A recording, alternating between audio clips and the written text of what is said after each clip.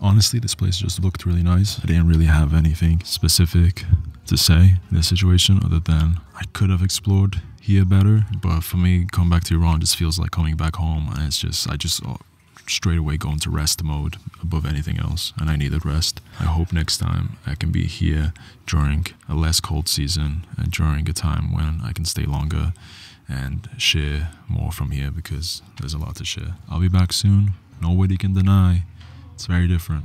And in a lot of ways that I actually find really good. That's how I'm leaving Iran this time. That's how I left Iran last time. I've seen a lot of growth in people. I've seen a lot of growth in the culture. I've seen a lot more openness. I've seen a lot more respect. I've seen a lot more kindness. If that's growing within us, then that will grow within our society and that will eventually grow within our government. And, and we'll be better off. I feel optimistic. And I think optimism is important because if we don't have optimism, what do we? What what do we have? I get it. There's things to be upset about. Not going to deny that.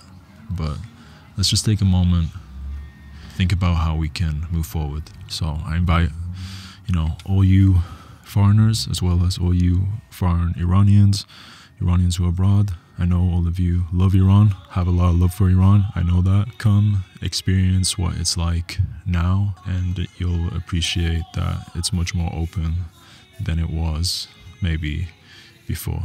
All right, take care. See you later.